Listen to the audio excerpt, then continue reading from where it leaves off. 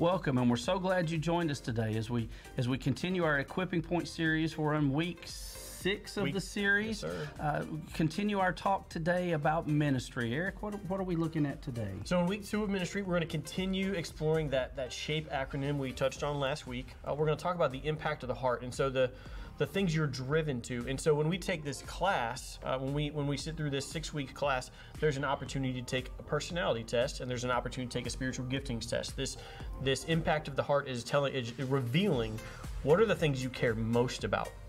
Because obviously we care about so many things, but what are the things you care most about to the point where you're compelled to action, you're compelled to love and and and to be involved in somebody's life, right? And to extend a hand. So that that spiritual gifting uh, that, that motivates you, that is the impact of the heart. We're going to talk about that today. We're going to talk about misconceptions about ministry. We want to make sure we, we kind of dispel any lies or misunderstandings about what ministry is or should be. Uh, we're going to talk about personality and how your personality impacts how again it looks when we, we when we're serving and again part of this class when we do this as a six week class is the opportunity to take a personality test and kind of reveal some of your characteristics right um, we're going to talk about how your experiences shape the way you're going to interact with people and who you can interact with appropriately uh, we're going to talk about some specific statements we want to make about ministry and we're going to talk about what are we committing to right So as you're going through all that, it, it, it sounds like we're talking about personality and we're talking about experiences. It sounds like that, that there's a specific ministry that that each person may be designed to fit better than others. Is that is that is that where you're going with this? Absolutely, right? So um, it's the it's the context of our lives over the course of decades, time, in uh, relationships, and how we not only entered those experiences, got through them, and came out on the other side that allows us to to interact with people in a way that impacts their life, right? So uh, we want to we want to understand ourselves so we understand what, what's in our immediate wheelhouse, right? What what's our primary focus in ministry?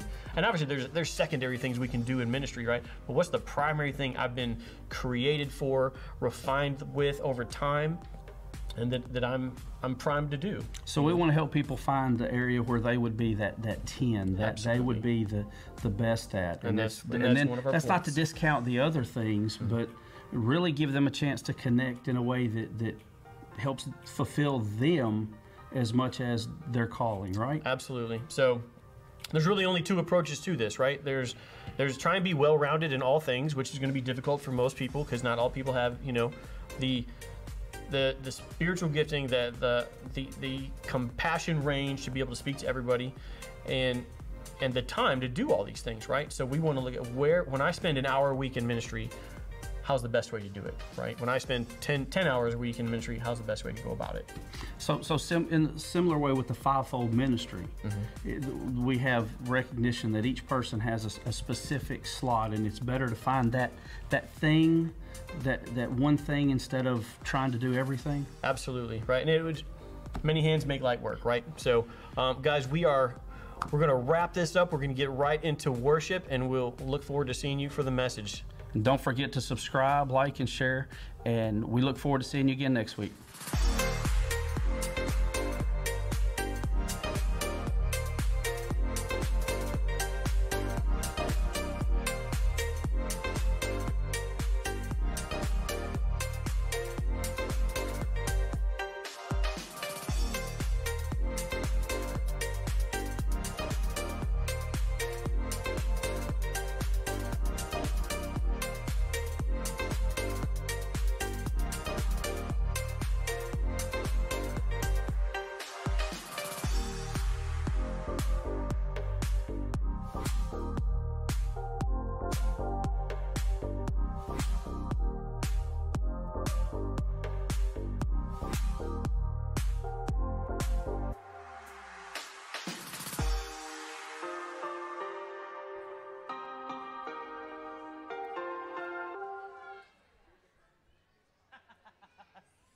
Good morning, everybody. Y'all doing good? Stand if you're able. Let's give God the glory.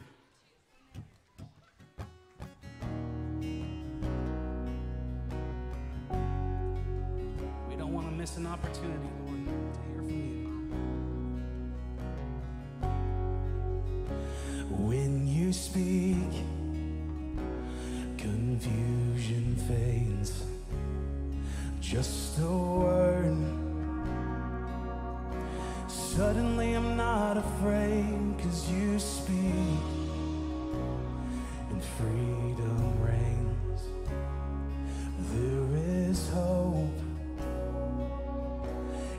Senhor.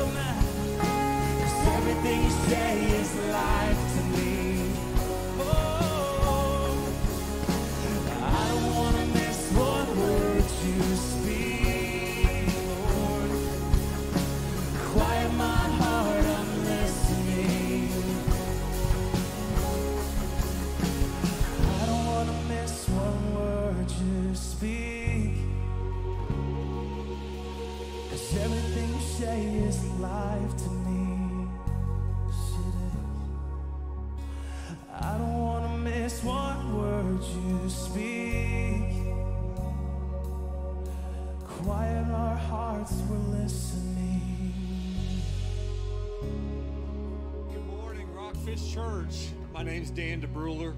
It's my pleasure to offer you the opportunity to follow Christ in water baptism today. You know, that is a great way to show the world that you have chosen to follow Christ. And if that's you today, if you have made that decision to follow Christ, I invite you to make your way to the blue sign to your right. We have men and women back here who are ready to help, ready to answer questions, to talk to you about what a life lived with Christ looks like. You got everything you need for and following baptism. We've got change of clothes. We've got hair dryers if you need that. Come on back. If Christ is calling you to follow him, come on back as we continue to worship.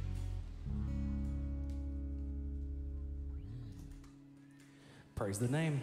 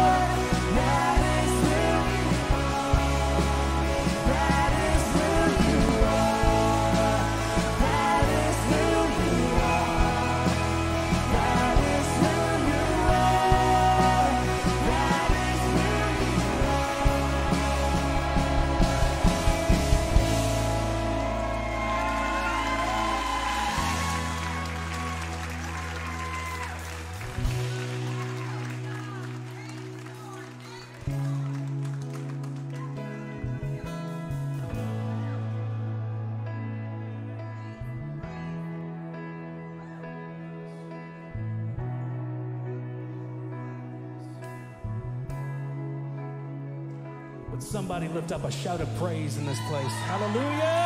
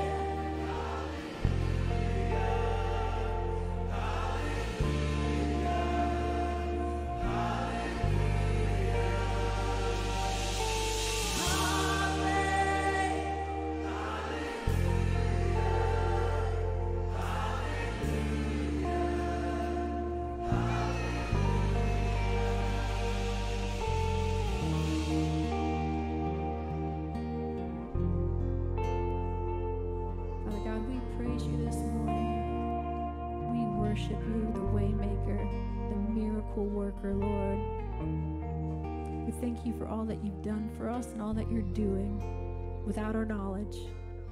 We love you, Lord. We praise you, Lord. In Jesus' name, amen. Amen and amen. Someone give him a shout of praise in this house. Hey! Woo! You may be seated. God bless you. Amen, amen. If the ushers would come forward, now is the time when we're going to take up an offering. Let's let's bow our heads. Let's say a prayer. Heavenly Father God, we love you we praise you. Thank you for another chance. Thank you for another day on this earth that you've created perfectly. Perfectly. I am blown away by your majesty. Father God, this is my prayer is that everything that's tossed in these blue buckets back and forth, back and forth, back and forth, I just pray that it all goes back to you. Advance it. It's in your name we pray. Amen.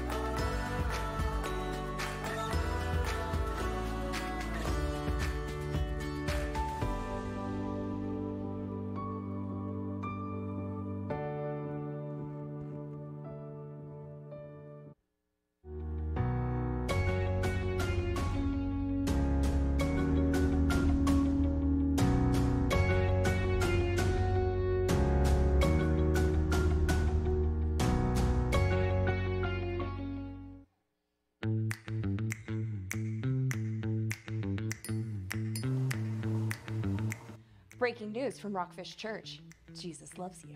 Here's the rest of the news.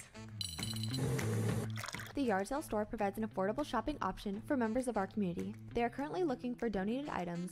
You can place them in the shed on the side of the Raeford Church site or drop them off at our Raeford or Rockfish yard sale store locations. Your donations will benefit those in need and foster a sense of community togetherness. Gently used items, including clothing, shoes, and electronics in working condition, are welcomed. For info, store hours, and locations, check out the Rockfish Church website. Saturday, October 21st at 7:30 a.m., all men are invited to a breakfast at Anderson Creek or Raeford locations. This connection opportunity happens every third Saturday with fellowship, devotion, and hot meal provided by the men's ministry. In order to share relevant and meaningful content, text START to 828-237-6101. This allows access to event reminders and important announcements. Plus, it's another way to grow smaller as we grow larger. Has God made a way out of a painful past, powerful addiction, or impossible circumstance? Have your eyes been opened to your own destructive behavior? Has He given you a ministry you would have never imagined on your own? Submit a brief synopsis to stories at rockfishchurch.com to help encourage and inspire others. Are you ready to take the next step in your faith journey and become a guiding light in your church community? Join us for an empowering Rockfish Group leader training on October 21st at 10 a.m. in the Raeford Worship Center and step into a leadership role that will transform lives. You'll have the power to nurture faith, forge connections, and help others grow spiritually. To register, scan the QR code in your newsletter or on the church website. Well, you guys, I hope you enjoyed it. Have a great week.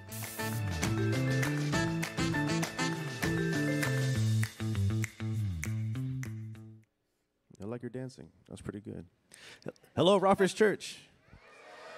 Hello, Rockfish Kids. Amen, amen. Ladies and gentlemen, this is your first time here at Rockfish Church and you have kids with you. Welcome. We'd love to have you here today. But to get into our kids' ministry, you're going to need a sticker to get into our kids' ministry area. Why? Because we love our kids so much. We're going to do everything to keep them safe, keep them secure, teach them about Jesus Christ, and then give them back to the correct parent. So that code letter must better match the one you have. If not, we'll take care of your kids until you get a sticker, then we'll give them back to you. Okay. Also, anytime during the service, in the back of the screen, there's going to be a red banner, and that red banner is going to have a code letter. If it matches yours, probably because your child needs you. But to get that sticker, go out the double doors to one of the kiosks, print it, print it out, place it nice and high so it's easier for our lifeguards to see. If you can't print out a sticker, you have to register your kids. Go to the kids ministry table, register your kids, and then for future services, you will be able to print them out. All of our classrooms are available, so nursery all the way to fifth grade, you're released to go to your classrooms. Ladies and gentlemen, please do not forget your kids after service. Let's continue worship. God bless.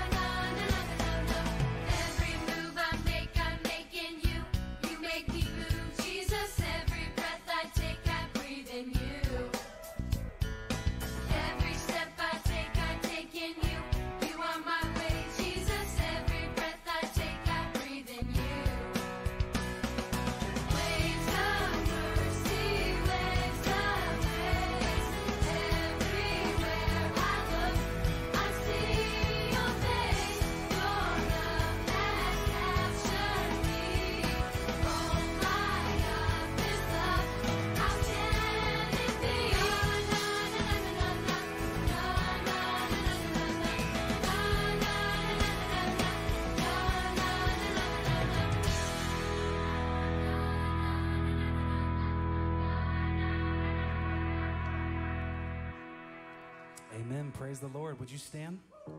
Let's continue to worship.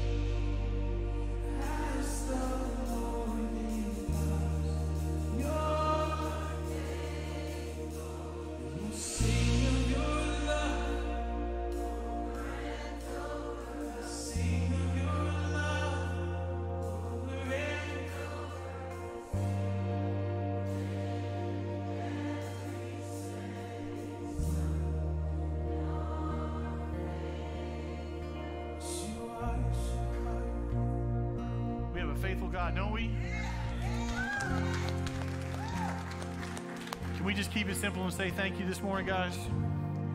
And bow your bow your heads, please. Lord, all these things we sang, all these praises we lifted up, they're they're true. We believe them. You carry them out daily, Lord. We just say thank you. We say thank you. We say hallelujah. Praise be to God. In Jesus' name we pray.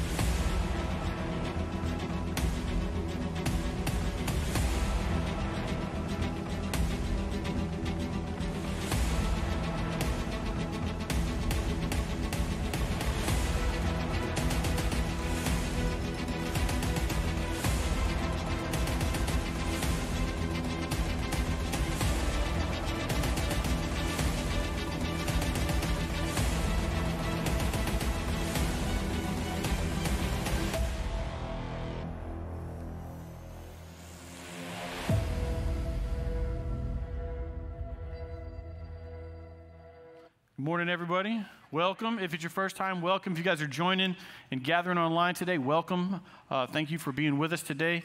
Uh, guys, before we go any further, let's, let's pray over this word. Father God, we, we know that we speak of your word. We reference it, Lord. We pray right now that you would speak, Lord, that, that our, our hearts and our minds are open to receive and understand better today, that we'd be willing to uh, mature and, and commit. And I pray right now, Lord, that, that we would just be blessed with your presence. In Jesus' name we pray. Amen. Hey guys, so if you if you've been following the sermon series, and just in case anybody missed anything or it's your first week or something like that, we're in our nine-week sermon series, started in September, going to the end of this month. Uh, in that sermon series, we are taking what is a, now a six-week class that will be available in November. Moving forward, we have our four week starting point class. This will be a six week equipping point class. And so we go from one right into the other. If you're motivated and you're committed and you want to be more mature, you want to get in the ministry field, this is the information you're going to encounter in that six week class. And so here we are. We're in our sixth week, which would really be the fourth week of, of the class. And so we are on our second second week of ministry, right? So this will close it out today, and then next week and the week after we'll be covering outreach. Uh, we referenced a, an acronym, the word SHAPE, last week. We only covered the first piece of it, spiritual gifts. That, just as a reminder, the, that acronym is spiritual gifts, heart, abilities, personality, and experiences. Okay, so that's that's what we are, are covering today. And we, this is, we call this, as we know we're, we're called to make, equip, and release. This is part of the releasing function that we realize there are places for us to go out and get involved. So, what we want to talk about today in this, in this heartbeat part, the, this second letter in our acronym is this heart. What is, what is your heart? What is it telling you? So we need to we need to examine our heart or our heartbeat. Where does it direct us? Where are our eyes focused? Who do we care about the most? We care about a lot of things and a lot of people, right? But if we tried to pour ourselves into all those things, we'd be really fragmented, maybe unsuccessful, maybe really frustrated. So we want to focus on where is the heart directing us? Who who has who has God opened our eyes to? Where has God opened our eyes to? And so Understand that your heart is going to dictate who you primarily want to engage with and can successfully engage with in this world, right? It should be your, one of your motivating factors in ministry. Spiritual giftings are going to be another part of that, right? And so if we all had the, the, the same shape, minus our heart, right? Even our heart would direct us in slightly different directions. And that's good and beneficial for the body and the, get, and the getting out, the sharing of the good news, right? That even if we all had the same experiences, personality, abilities, and spiritual giftings, if we had all that the same, if we were that boring of a congregation, at least our hearts would direct us in slightly different directions and we would be, be compelled to serve and love specific people. So your, your, your heart is going to dictate the way you act, the way you feel, the things you say, right? And we want to we want to do that well. We we want to understand our passion, right? And so, if you've heard me speak on this before, there's going to be a lot of stuff that's not new. I might just say it in a new way, but a lot of the stuff we should already know, okay? And so, maybe you've heard me use the example before. If you want to know what your heart is, just pretend, just plan right now like you went and spent only $2 on a lottery ticket and you're going to win the $1.55 billion Powerball later this week, okay? So, money's no longer a problem. And now, because money's no longer a problem, you got all the time in the world. Where do you want to go and who do you want to serve? What, if, if, if there are no obstacles in the way, there's no red tape, who would you go serve? Who is your heart for? Right? That's what you've been shaped for. And, and spend a little bit of time on that. Really think it through. What would I do if I had no obligations and it was only my ability to serve and volunteer and, and go and, and live and, and love others? right? So we want to we want to observe the things we say and the things we do and the way we feel, and this will start to reveal to us our heart. But we can ask ourselves in-depth questions about ourselves and, and we can learn more about that. So this may not be something you already are aware of or you already feel like you have a clear picture of what is my heart, who is my heart for, and you can take some time. It's probably going to take more than five minutes to really think it through. But we can get to the point where we, we have confidence in who is my heart for, who am I compelled to love. So, we're going to talk about some misconceptions about abilities as we talk about abilities. Abilities being all those things you're equipped to do, right? And so the first one is this myth that the skills that, that we learn, we have to learn in the classroom setting. Now, this material you would learn in a classroom setting. This, bigger classroom setting, still classroom, right? I can give you all the information in the world until you go try and apply it somewhere. You do some on the job training, you get some experience in the field, you won't really understand everything you won't really be tested in it. And so we have to be willing to get some on the job training, right? I, I, can give everybody in here a manual on how to, how to do some basic mechanics on a car, right? And, and in theory, you know what you're doing until you pop that hood and everything looks like a jumbled mess because somehow it never looks the same as it does in that little diagram, right? So we can do classroom stuff, and we, we shouldn't forsake the classroom because it's good, but we should not sit around waiting on the classroom to make us feel confident that we can go out into the field. I need you to go out into the field and, and be prepared to learn more and grow more. You probably get about 20% of your value in the classroom. It's the, it's the seasoned experience, the success and the failure that you're going to experience in the ministry field that's going to really qualify you and, and increase your abilities, right? And so you need to go get those out in the field. All right, so another misconception is this myth that if you have certain abilities, you would already be aware of them. It's like you already know everything you can do. And if anybody's been living in this world for a while, maybe, maybe you applied yourself in sports and you realized the coach was able to push you beyond your understanding of your abilities. Maybe in the military, maybe you just have a challenging job, and maybe you have kids, right? And you thought you had this level of patience, and somehow they extract and demand this much from you, right? So your abilities are not limited by your understanding, they need to be revealed through time and interaction and practice. So until you know your absolute limitations, you don't know your abilities. And, and so I would encourage you do not be convinced that you know yourself so well. And be willing to, to test yourself multiple times at the same thing and experience failure and really find your limitation. And then you can identify okay, this is my ability, this is my ability level here. And the third misconception about abilities we want to talk about is that the things I learn at work or at school or in any other setting other than the church, they're not meant for using within the church. Guys, when we bring everything else we know, that's what takes this from being a Sunday service to a community. When I don't know how to work on my car and I throw up, throw up a little message in a text thread to 60 other guys, I'm like, God, anybody, anybody know how to do this? I get three volunteers, seven volunteers. I got a plumbing issue. I got community because everybody brings all their abilities to the table. But it's not until that occurs that this really transforms from a Sunday service into a community, to a family, to something that the more time we spend further away, the, the harder it is, right? That we want to keep coming back and come back because there's fulfillment and there's fruitfulness here as everybody offers what they have to give in service to the Lord and to others, right? When we say ministry, I think we, we kind of hurt ourselves because in, in most of our mindsets, we're thinking, okay, the functions that occur to make a church service happen, right? Ministry is any service, any service, any volunteering, any good act of goodwill you do for somebody else, that's ministry. And so we want to bring everything we're qualified to do. It doesn't matter if you spent the first 40 years of your life in service to the devil himself, but you got some skills those skills can be used for the good in the kingdom. All right? So everything is available for use and should be used in the kingdom. So moving on through, we get to the P, the personality in that shape acronym.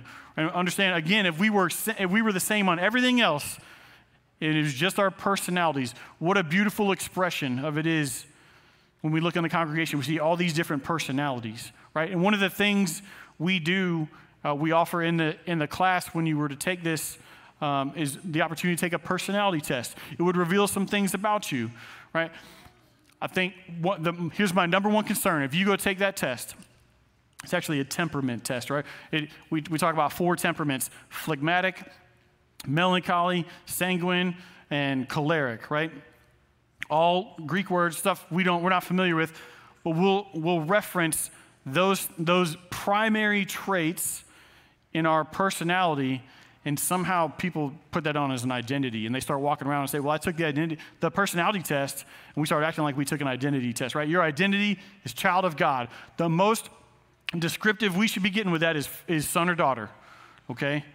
These other things is just how you interact with the world how you're able to communicate and receive communication.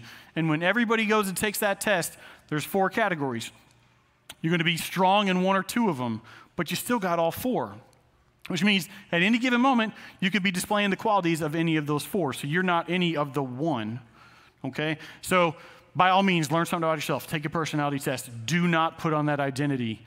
One of the dangers of putting on that identity is we start walking around and say, Well, I'm choleric, so I get to act like this because God made me this way. Not if it's bad behavior. Not if it's hurting other people. And I'm not saying the cholerics are the ones that do the bad behavior, right? I'm saying as an example, I, I hear that a lot from people that have taken it. That's merely the primary expression of your personality on a regular basis, right? We still got all four within us. Now, these personality traits are going to be stronger in others, more mild in others, and that's good. That's fine. Understand one of the concerns with having strong personality traits is that that's an extreme. So, the more extreme we get with any of those personality traits, we have to be aware that extremes are a turnoff or maybe even cause harm to some folks. So, we, we do need to exercise some self control. We do need to know what our danger points are, where, where our weaknesses are within those personality traits, and again, the strengths, so we can use them for the greater good of the body. And when we look here, we see cooperative and competitive. You would wonder, how, how is competitive a good character trait in the body of Christ? I'll tell you, because you're not competing with your brother and sister, you're competing with yourself yesterday. Always looking to grow, mature, do something better. That's what we do as a staff. That's what we do as leaders. We, we look at how effective were we yesterday or yesteryear in doing our ministry, the totality of the church. Can we do it better? What should we do? We're competing with the past, but our past selves, not other people. We should not, it's not good or healthy for us to start comparing ourselves to others because we're shaped differently. So please, when you've got these, these traits that, that are good, use them in the right way, or they can become damaging. So please just keep that in mind. All right. So moving on to experiences, capping out this, this SHAPE acronym. So understand this slide right here. If, if you're not at the place where you're saying, I'm a Christian, I want to seek maturity, and I want to be effective in the field, this slide is not for you. You may not be ready to hear what I have to say, and it might hurt when I say it. So it's not for you yet. So don't take offense. Right, we see in Romans 8:28, and we know that in all things God works for the good of those who love him and who have been called according to his purpose. So that means when we read this verse and we accept that, that means we can, we can let go of the accusation that somehow the devil had his way with you one day. And we can say that everything good, bad, and indifferent that happened in your life was either directed or permitted by God for his glory, for his ministry, for your sanctification, for your salvation, the salvation of others. And that's hard to hear because some of you went through it. Again, not for you today if you're not there yet. But if you want to be as mature as possible, if you want to be as effective as possible in the ministry field, accept this truth that God allowed those things to happen to shape you in the specific way that you would be more impactful. You would have more experiences to reach back on so that you can pour into the next person. Again, good, bad, and indifferent, exciting and boring, all experiences. Now, Paul in Philippians 1:12, he he gives us a little taste right here. We're going to go a little further in a second. But he says, Now I, Apostle Paul, want you to know, brothers, that what has happened to me has really served to advance the gospel. Well, he's speaking about being imprisoned. Obviously, everybody who loves Paul and has been affected by him, that came to Christ because of the words he shared, it would pain them to know that this man is in jail for an extended period of time. Right? And instead, in his letter, he writes to them that what this has done is to better serve the going out of the gospel. Now, what I'm going to do is I'm going to read that same verse and then a couple more from the Amplified Version. It won't be up on the screen, so please stick with me here. He says, Now I want you to know, believers, that what has happened to me, this imprisonment that was meant to stop me, has actually served to advance the spread of the good news regarding salvation. My imprisonment in the cause of Christ has become common knowledge throughout the whole Praetorian or Imperial Guard and to everyone else. Because of my chains, seeing that I am doing well, and that God is accomplishing great things, most of the brothers have renewed confidence in the Lord. So this didn't deter people. It's the seeing that the gospel is still going out, it's still effective, that it renewed their confidence in the Lord. And they have far more courage to speak the word of God concerning salvation without fear of the consequences, seeing that God can work his good in all circumstances. Some, it is true, are actually preaching Christ out of envy and rivalry toward me for no better reason than a competitive spirit or misguided ambition. But others are out of goodwill and a loyal spirit toward me. The latter preach Christ out of love because they know that I have been put here by God on purpose for the defense of the gospel. But the former preach Christ insincerely out of selfish ambition, just self promotion, thinking that they are causing me distress in my imprisonment. What then does it matter so long as in every way, whether in pretense for self promotion or in all honesty to spread the truth, Christ is being preached, and in this I rejoice. So he is looking, he's, he's able to look past his circumstances and says, Look at what's happening anyway. Even those that have disdain for me and are all about their self promotion, they're still preaching the gospel, and that's the most important thing. That is the ministry. It's not that I'm glorified, it's that Christ is glorified. But it's, Paul's got to be extremely mature to be in a prison cell saying this, bringing encouragement to others. Now, he says all this while never acknowledging that he knows that he doesn't know all his letters are going to be captured and copied and put in the New Testament for thousands of years for us to read, for millions, if not billions, of people to access and learn from. He's giving credit just to look at me being in jail and other people having to preach. Not to mention the fact that every word I write is going to go out millions of times over. And it's going to reach millions of people, if not billions. So that's one of these experiences. We need to be willing. We need to, to maximize our potential and effectiveness in ministry. We need the maturity to reach back into everything we have experienced to this point and everything we're going to continue to experience, right? We're still on the walk. We're still going to have some success, failure, excitement, boring days, turmoil. We're going to experience it all. But now we can look at it and say, God, what are you trying to show me? Don't, don't let me make this about me. Let me see what you want me to see. Realize each one of us in our 20s, 30s, 40s, 50s, and higher, we are decades in to a research project as the subject of the research. We're, we're seeing what happens when you don't try God's word and when you do. And we're able to take that and those experiences and share that with others. Right? Pastor Tony calls it paying the dumb tax, right? Say, I've gone down this path. I know that I know what's coming. If you don't turn around, I really don't want you to have to pay that tax too. And we share that. Now, what, whether people listen or, or value that, different story. Point is, we're equipped to do so. Our experiences lend to and multiply our ability within our ministry. So, so multiple statements here uh, that we believe are important for you guys to get about ministry is one, it's the heart of the Christian life. So in Matthew 20, 28, Christ is saying, I came to serve, not to be served. We're supposed to be like him, so we should be in the business of serving, in the business of giving, of loving, of healing. And so function follows form in ministry. What does this mean? This means I look at you as the director of ministry and I say, I, I, really think you would fit well here because of the way you're shaped. Not, I have a gap here. Let me just hammer away at you until you begin to fit into that mold, right? God knows better than me. I want you to work where you're going to be successful and you're going to experience the rewards in that ministry. Some of that's dependent on you knowing your shape. So, some other statements about ministry, right? We believe that God has given all his children gifts, but these gifts are meant to be developed for the productivity in the ministry. And we believe that everyone is a 10 in something. So you can pursue, if you take the spiritual giftings test as part of this class, and you see like, hey, these are, these are the scores I give myself on those spiritual giftings. We identify what your strengths are. You're a 10 in something. You can, pers- you can pursue being well rounded in everything, have at it. But you're a 10 in something. There's a reason you're dynamically stronger in one or two areas.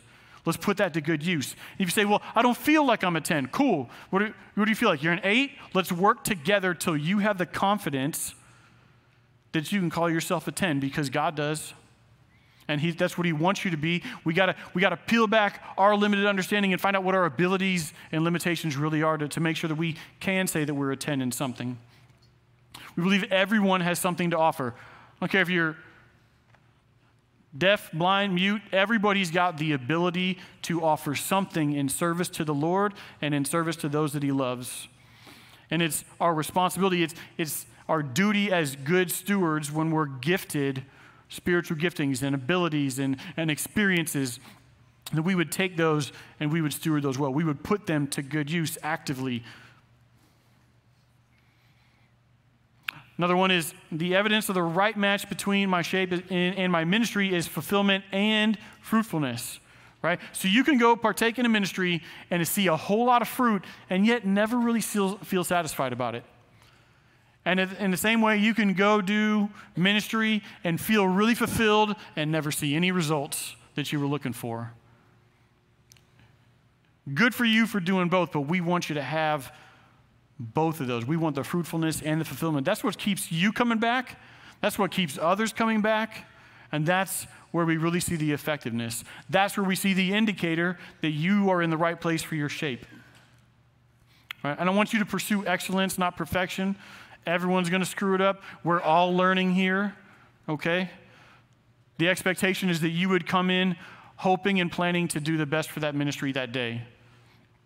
That you would apply yourself fully, that you would not be distracted or fragmented, and you say, you know, this is my focus. This is going to get all my effort and the time that I'm doing it, and I hope to see real results.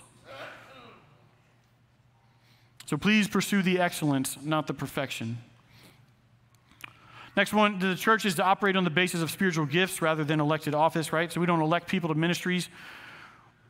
We don't, we don't play favorites. Uh, we don't let people come in and just say, uh, yeah, it's my, um, it's my second week. I'm in, I'm in starting point, and I really feel I've been called to be a pastor. Cool, we got a job for you. Doesn't work that way, right? Over time, multiple data points, we watch people, we, we, we see their giftings, push them to the forefront, identify who they really are, show us their heart, show us their abilities and limitations, show us they're willing to be taught and trained. And then we say, wait, we could really use you here because you've revealed who you are over time, not because you told me who you were in a matter of a couple seconds, right? And so we're not appointing people just because. We do it because their character and their shape has revealed themselves over time, right? We believe in, in Proverbs 18, 16, this is true. It begins with a man's gift makes room for him, right? Anything you do reveals who you are over time. We need consistency Next the church is a family, not a business. We're an organism, not an organization. Right? Therefore, so everything we do as a staff, we, the staff all week long exists and works and refines what they do so that every volunteer that comes in to serve in any capacity, whether ministry inside the church, outreach outside the church, whatever capacity, they would have the best experience possible. They would receive the training they need. They would get the information they need. They would have the physical resources they need to accomplish their goals for that week. That they would feel confident and they're, they're a part of a team. That's the purpose of the staff. We spend way too many hours in meetings on Tuesday because we care, because we want to do what's best. And we examine everything. There's nothing off the table. We examine everything. Leadership, same way. We examine everything. What could we do better? What should we get rid of? What should we put to rest for a while? What can we repurpose in a better way to be more effective? So we believe that the greater good of the whole body must always take priority over the needs of any single ministry. So if we realize that any single ministry is really taking away from the majority of the body, it's causing harm, a disruption, it's not productive, that can't be our sacred cow. We can't just hold on to that and say, well, that's so and so's ministry, and if we cut that ministry, or we cut the budget to that ministry, or we reorganize it, we're going to lose the people that are, are, are there right now. We can't do it that way. We got to look at what is effective, what's given us fruit. So we believe that every ministry, every minister, which is each one of us, is a learner. You need to be a learner, which is why you stay in the Word. If you want to live the life If you want to live the life like Christ showed us, you got to be really familiar with it. You got to know how to handle those situations you're going to encounter in the ministry field and outreach in regular daily life. You got to be learning. Access other books, other materials, other video content, absolutely. But you've got to be learning if you want to be growing in your abilities, if you want to be reaching your limits and be most effective, right? We also believe that ministries have seasons. Some last a long time. Some ministries will just, we're probably never going to get rid of a worship team, right? It's probably going to always be part of what we do. But maybe, maybe you didn't catch the announcement. We made the decision as, as staff and leadership um, last month that this month will be the last month that we are doing Cafe Rock. It's the last month we'll have Saturday night services. We've been doing it for 11 years. It had a purpose when we created it. That purpose no longer really exists. And we're not really seeing the fruit we've been trying to see in that, in that service. And yet at the same time, it's, it's taking Saturday nights from our volunteers and staff members, and it stretches us really thin. And it costs money. There's a whole bunch of things that those people, those hours, and that money could be used for better in the kingdom, and that's our opinion. So we've decided to go ahead and lay that to rest at the end of this month. So in November, there will be no more Saturday night services, right? No sacred cows. We will look at everything and say, are we doing this the best way we can? We're going to have to answer for how well or how poorly we stewarded what was given to us. And God, God's been really good to Rockfish Church. I don't think there's any secret there.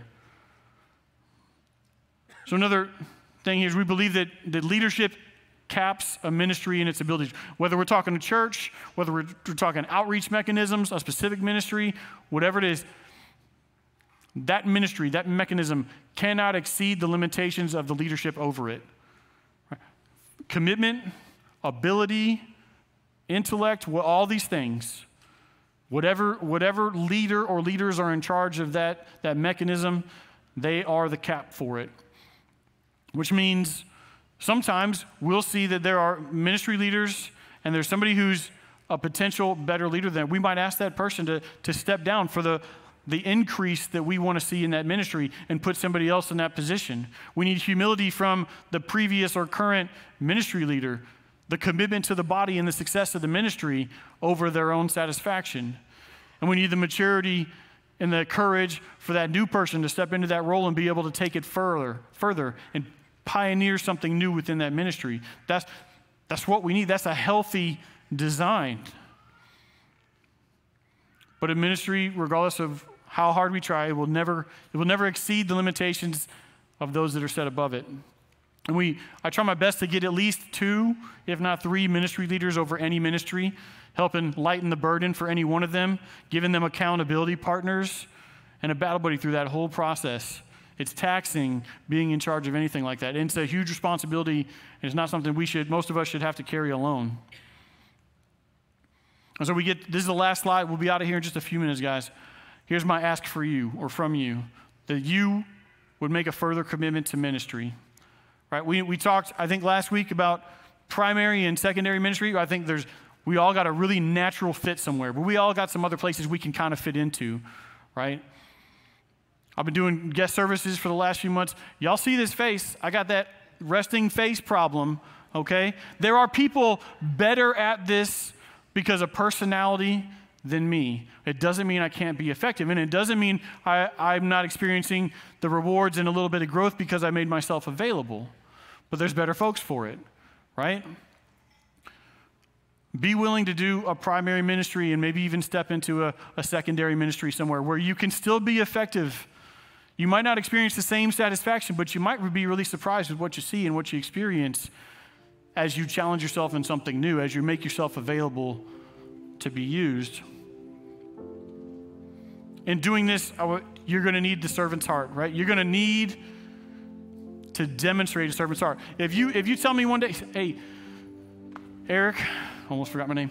Eric, I feel like I'm called to do this thing and we need to have this ministry and I feel like I'm the person to lead it. Cool. I need to see you serving before I can put you leading. That's the expectation for anybody here. If you if you want to be leading, if you think that's what you're called to do, you've got to demonstrate the ability to serve We need leaders with servants' hearts. It's, got, it's, it's paramount, or it begins to cripple the ministry. And every ministry leader I have, I'm going to have your back. If there's a question about whether, whether you're causing more harm than good to the ministry or the ministers, we'll, we'll have a conversation about it. We'll work with you, try and, try and train you, prepare you a little better. I'm not just going to cut you loose. I'm going to see where your heart is. Do you really care? Is this, is this really working out for you? Do you want to be better at it? Do you love the people you're leading? Good. Let's find a way to serve them as leaders. Let's figure out how to do this better. And lastly, that as we commit, that we would be willing to cooperate. We're, we would subdue our, our competitive nature just a little bit. Say, I'm, I'm willing to work alongside and below others who've been doing it longer, who know the process better, who know why we don't do certain things because they've seen those things fail or they've seen us change it for specific reasons. And give them the honor their due as ministry leaders or church leaders because They've been appointed to that position because there's a certain level of trust. They've been assigned a responsibility. Let them wield that authority to carry out that responsibility. These are good things. These none of these should be paining. Like it, should, be painful for us to hear those things. It should be encouraging and rewarding to know that this is how we do it. This is how we intend to do it in the future. It's for the the strength and the health of the body. It's for the sending of the gospel. That's, that's the primary goal. Everything we do here, primary goal. Let you work on your giftings, let you try out and find out your abilities, not just stay in the classroom all the time and get better at sending out the gospel. We're going to talk about that the next couple weeks here. So, nothing super emotional or spiritual this week, guys. You can stand, we'll pray, we'll get out of here. I thank you for your time. Father God, we thank you for your word. We thank you for your example to serve, your, your explanation of what it is to serve, how we ought to serve, how we can take anything in this world and turn it into good for this kingdom, Lord. We can offer so much. I pray right now that, that you would open our eyes and, and give us greater understanding of where we can lend a hand, where we can offer our abilities, our strengths, our personality to multiply in this ministry, Lord. And if there's if there's those in here who, who feel like they're supposed to be leaders one day, Lord, that you would that you would give them that servant's heart, that they would be equipped and they would be willing and courageous enough to speak up and say, That's me. I think that's me. Please use me. That we would that we would focus on taking this church and turning it into community, Lord, that we would all have something to offer. We would believe that. We would believe that we are a 10. We would have confidence and courage to move in this world, Lord. I pray for a blessing over everybody hearing these words, that we would be encouraged and affected by them, Lord. In Jesus' name we pray. Amen. Guys, we'll be up here if you need prayer, and we got starting point at 1210 in the conference room.